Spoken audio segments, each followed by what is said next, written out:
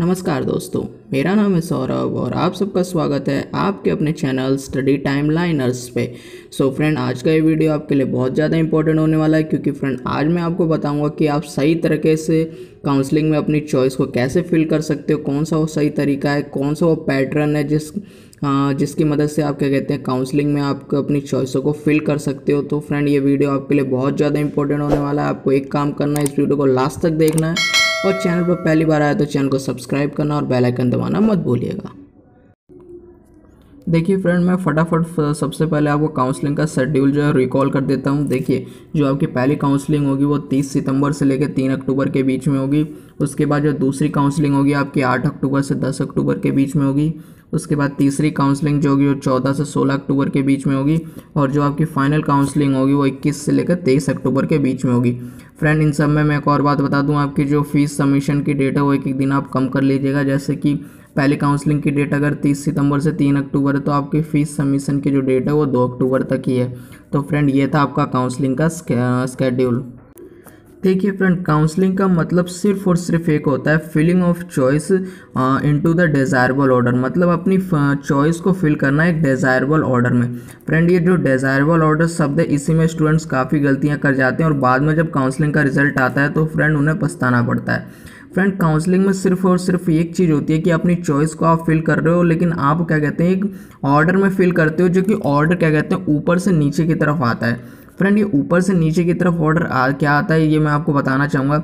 जैसे मान लीजिए फ्रेंड आप कुछ इस तरह से फिल करते हो कि आपको मान लीजिए कि आपको पूसा में आप चाहते हो सिविल इंजीनियर मिल जाए आपको। उसके बाद आप दूसरे नंबर पे ये फिल करोगे, चलो पूसा में सिविल ना मिले तो मैकेनिकल मिल जाए। फिर आप चाहोगे कि चलो पूसा में ना मिले तो जीवी पंत में सिविल मिल जाए।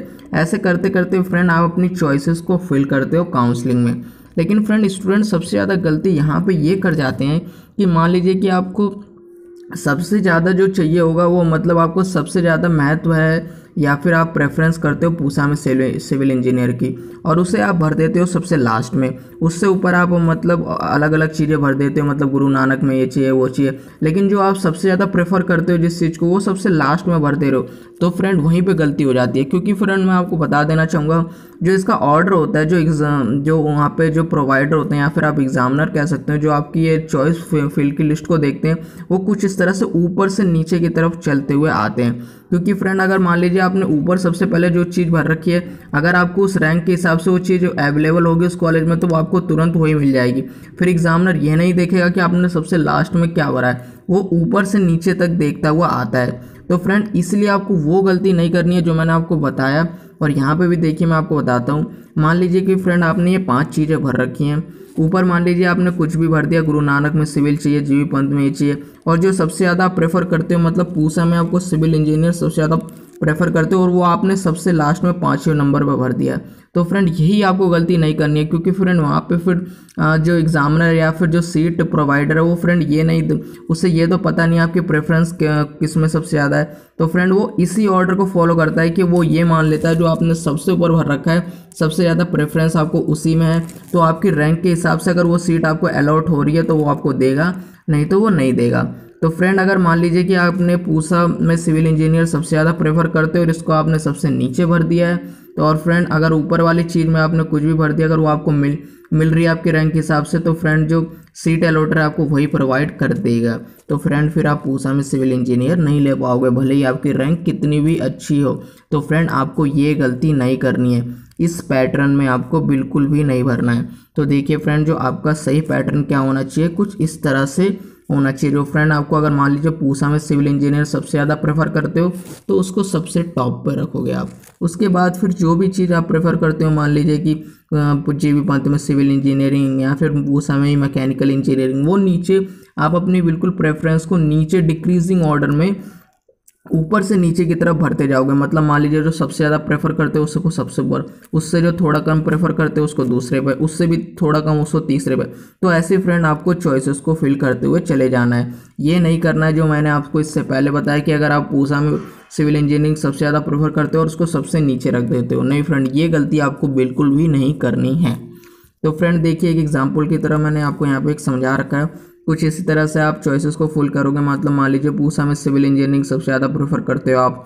फिर पूसा में मान लीजिए मैकेनिकल इंजीनियरिंग उससे थोड़ा कम। फिर जी पंत में मैकेनिकल इंजीनियरिंग उससे थोड़ा कम। तो फ्रेंड ऐसे आपको अपनी चॉइसेस की लिस्ट बना के, ऐसे आपको बिल्कुल इसी ऑर्डर में आपको काउंसलिंग में भरना है। फ्रेंड, अभी जब काउंसलिंग की क्या कहते हैं डेट आ जाएगी और जब काउंसलिंग आपकी स्टार्ट हो जाएगी तो मैं इस पर एक और पर्टिकुलर वीडियो बनाऊँगा, जिसमें मैं आपको बताऊँगा कि काउंसलिंग की चीज़ों को बिल्कुल कैसे भरना है। तो फ्रेंड इसके बारे में आप बिल्कुल टेंशन मत लीजिएगा। हाँ बस फ्रेंड आप अपनी लिस्ट तैयार कर लीजिए। इस समय बिल्कुल परफेक्ट ऑर्डर में, जैसा मैंने आज बताया कि प्रेफर जो आपको सबसे ज़्यादा है, उसको सबसे ऊपर रखिए और उसके बाद उसके नीचे नीचे ऐसे कम करते हुए चले जाइए। और फ्रेंड इस वीडियो के लास्ट में मैं आपको एक और क्या कहते हैं फ़ोटो भी दिखाऊँगा जिसमें क्या कहते हैं मैं आपको दिखाऊँगा कि आपको किस तरह से वो जो फॉर्म होता है जो चॉइस लिस्ट होती है वो किस तरह की होती है। फ्रेंड इस वीडियो के लास्ट में मैं आपको वो दिखाऊँगा। तो देखिए फ्रेंड इस तरह से मैंने आपको ये दिखा दिया। इसी तरह से बिल्कुल आपको प्रेफर करके भरना है। आपको बिल्कुल भी गलत नहीं भरना है। जो आपको आ, सबसे ज़्यादा प्रेफर करते हैं उसको आपको सबसे ऊपर रखना है और उसके बाद ऐसे नीचे की तरफ़ चले आना है। तो देखिए फ्रेंड इस वीडियो में इतना ही और मैं आपको बता देना चाहूँगा, मेरी और भी अलग अलग वीडियोज़ हैं। फ्रेंड उसके लिंक मैंने डिस्क्रिप्शन में दे रखे हैं पॉलिटेक्निक से रिलेटेड जो भी वीडियोज़ हैं।